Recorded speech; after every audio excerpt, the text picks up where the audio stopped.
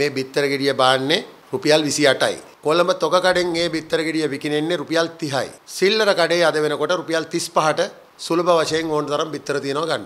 මෙච්චර මිල අඩු වෙන්න හේතුව තමයි දැනට අපිට ලංකාවට අවශ්‍යතාවය තියෙන්නේ බිත්තර 130000ක් 140000ක් වගේ ප්‍රමාණයක්. නමුත් දැන් 150000ක් 160000ක් දෛනිකව බිත්තර පෙළඳපොළට පැමිණෙනවා. නිෂ්පාදන වියදමටත් අඩුවෙන් තමා මේ වෙනකොට බිත්තරයක් ගොවිපල් හිමියෝ දෙන්නේ. එතකොට අද ඒ අයට යම්කිසි පාඩුවක් ධර්මයෙන් තමා මේ බිත්තර ගෙඩිය දෙන්නේ. ඊටාම කරුණාවන්ත විදියට අපේ අලුත් ජනාධිපතිතුමා මැදිහත් වෙලා මේක निराකරණය වෙයි කියා මම බලාපොරොත්තු වෙනවා. ලබන මාසෙකට බිත්තරයක මිල කීයක් අඩු වෙන්න පුළුවන්ද මේ? බොහෝ දුරට රුපියල් 25ත් 40ත් අතර මිල වැඩි වෙනවා අඩු වෙනවා කියන පරාසය දිගටම යයි.